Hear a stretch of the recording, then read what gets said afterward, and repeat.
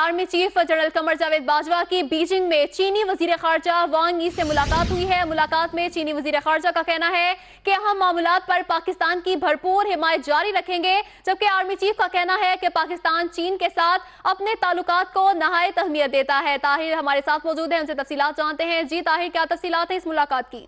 जी, army chief general Qamar जो बाजवा तीन रोजा दौरे पर इस वक्त चीन में मौजूद हैं।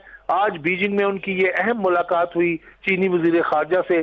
चीनी वज़ीर खारजा ने खुलकर पाकिस्तान के जितने भी आलमी और इलाकई मसाइल हैं उनकी हमायत की और कहा कि चीन भरपूर हमायत पाकिस्तान की जारी रखेगा। इसके अलावा चीनी वज़ीर खारजा ने जो इलाकई तस्वीराती सूरत हाल है उस हवाले से भी बातचीत की और कहा कि जो वहाँ पे तस्वीराती सूरत हाल इस वक्त मौजूद है उसमें पाकिस्तान की जो काविशें हैं अमन और इसकाम के हवाले से वो काबिल तहसीन है और चाहे चीन इसकी भरपूर हमायत ताहिर आपका शुक्रिया।